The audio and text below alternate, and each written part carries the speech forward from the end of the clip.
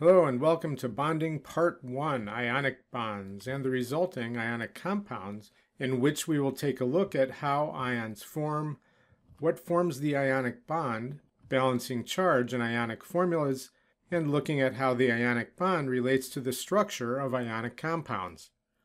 Let's start with a question. Why do atoms stick together? In the ionic bond, neutral atoms lose or gain electrons to get a stable electron configuration, which is often the outer octet of a noble gas. Fluorine has seven valence electrons, shown as dots around the symbol, and so gaining one more gives it an octet. And sodium losing its lone valence electron allows the octet below that outer electron to become valence electrons.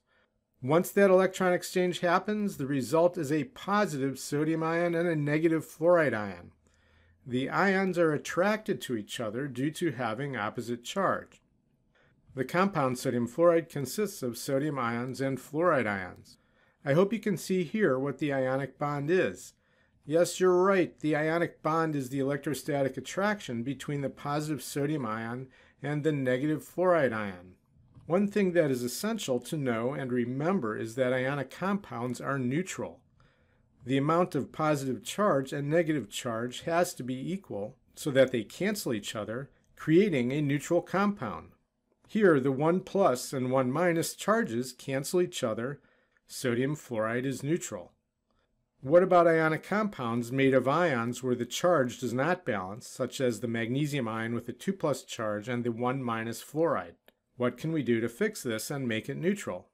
We simply add more ions until it balances. The charges of two fluoride ions balance the charge on a single magnesium ion. 2 plus balances 2 minus, and the formula MgF2 gives us a neutral compound. Typically, ionic bonds form from metals bonded to nonmetals. You can identify an ionic compound by seeing that it is composed of a metal and a nonmetal, and this is because metals form cations or positive ions, and nonmetals form anions, negative ions. On the periodic table, we can distinguish metals and nonmetals by their location on the table. Metals and nonmetals are divided by the stair-step line seen here in yellow, and metals are to the left of the stair-step in blue, nonmetals are to the right in brown, with metalloids along the stair-step in purple. Let's take a closer look at the atomic structure to see why ions form and how that influences the structure of the ionic compound. Neutral sodium has a single valence electron, but we can see that there is an octet just below that valence electron, while neutral fluorine only needs one more electron to gain an octet. The reaction here is the exchange of sodium's valence electron. Sodium loses its valence shell and becomes smaller, while fluorine experiences more repulsions with the added electron and becomes larger. Both ions now have the stable electron configuration of neon with 10 total electrons. Let's back up a bit. Neutral sodium has 11 electrons and 11 protons, while neutral fluorine has 9 electrons and 9 protons. The electron exchange allows each atom to now have the 10 electrons of the neon electron configuration. In showing the reaction and the two models side by side, we can more easily see how the ionic bond forms, which is the electrostatic attraction between positive and negative charge. To get a better understanding of the structure of ionic compounds, let's view the atoms and ions as simple spheres.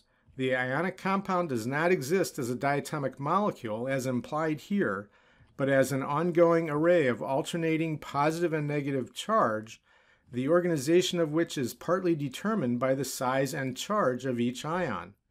With magnesium fluoride, you can see more readily the importance of ion size and ratio, two fluorides for every one magnesium, on how the ions stack in the very ordered crystalline structure. That's it. This has been a Mad Scientist production. See ya.